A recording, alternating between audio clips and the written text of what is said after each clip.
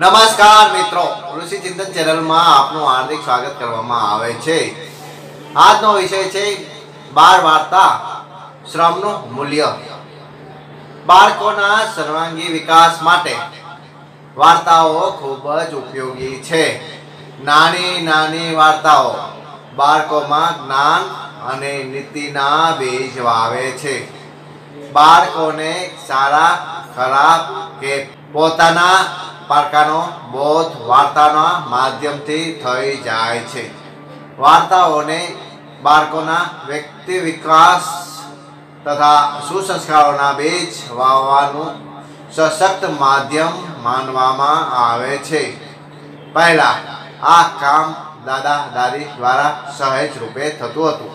પરંતુ પશ્ચિમની અસર અને સમયના અભાવના કારણે લોકોએ એ તરફ ધ્યાન આપતા નથી.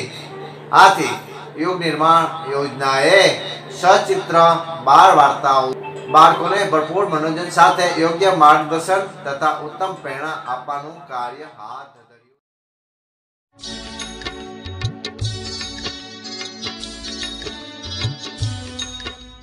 નમસ્કાર મિત્રો, ઋષિ ચિંતન ચેનલમાં આપનું હાર્દિક સ્વાગત કરવામાં આવે છે. આજનો વિષય છે બાળ વાર્તા શ્રમનું મૂલ્ય. બાળકોના સર્વાંગી વિકાસ માટે વાર્તાઓ ખૂબ જ ઉપયોગી છે. નાની નાની વાર્તાઓ બાળકોમાં જ્ઞાન અને નીતિના બીજ વાવે છે.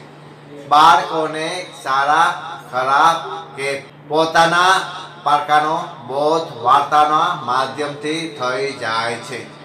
વાર્તાઓને બાળકોના વ્યક્તિ વિકાસ તથા સુસંસ્કારોના બીજ વાવવાનું સશક્ત માધ્યમ માનવામાં આવે છે.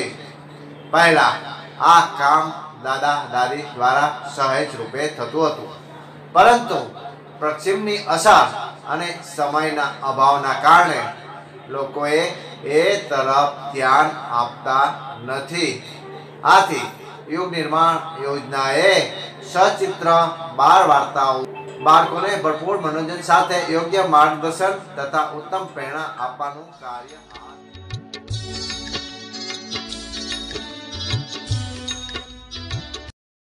પાપ અને પાશ્ચાત્ય રાજા ભોજે સપનો જોયું કે કાદવથી ખરડાયેલું એક ભૂંડ સ્નાન કરવા માટે કોઈ નિર્બળ પાણીવાળી નદીમાં પ્રવેશી રહ્યું છે. તે સ્નાન કરીને પાછો ફર્યો ત્યારે તેને સ્વરૂપ બદલાઈ ગયું અને તે દેવ પુરુષ જેવું સુંદર બની ગયું હતું. રાજા જાગી ગયા. તેમણે એના પર ઘણો વિચાર કર્યો, પણ કશું સમજાયું નહીં. સવારે રાજ્યસભામાં રાજાએ આ આશ્ચર્યજનક સ્વપ્નનું રહસ્ય પૂછ્યું. તો એક વિદ્વાને જણાવ્યું, જ્યારે માણસ પાપ કરે છે, ત્યારે સમજો કે તે કાદવમાં પડ્યો છે અને તે એક પશુ સમાન છે. પરંતુ જ્યારે તે પાશ્ચિતાપ કરીને તે પાપને ધોઈ લે છે, ત્યારે તે ફરીથી દેવ પુરુષ બની જાય છે. દરેક માણસ પાપનું પ્રાયશ્ચિત કરીને પાપોમાંથી મુક્ત થઈ શકે છે.